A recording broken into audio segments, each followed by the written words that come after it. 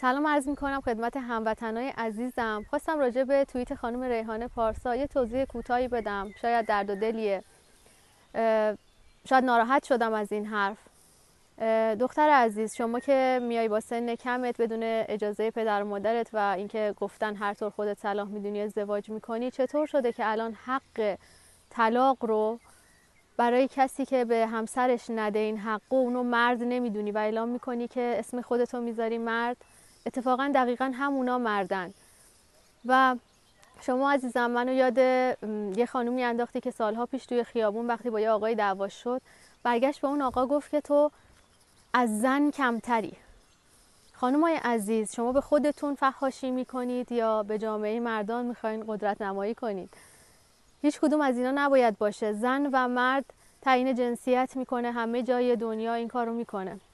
و ما نباید انقدر یکی رو تحقیر کنیم و یکی رو بالا ببریم. ما در کنار هم تفکر داریم مغز داریم فکر می‌کنیم و در کنار هم زندگی می‌کنیم. و اگر حق و حقوقی هست برای ما در جایی که باید به صورت تصافی باشه هست. اگر که توی کشور با قوانین قوانینی که توی کشور ایران هست حق طلاقی رو زنها می‌گیرن به خاطر ظلم زیادیه که بهشون میشه. و هیچ نظامی ازشون حمایت نمی‌کنه. مثل کشورهای دیگه نیست که تحت حمایت مستقیم نظام باشن. اونجا باید یه سری حق و حقوق رو به زور گرفت به مجلس رفت و گرفت.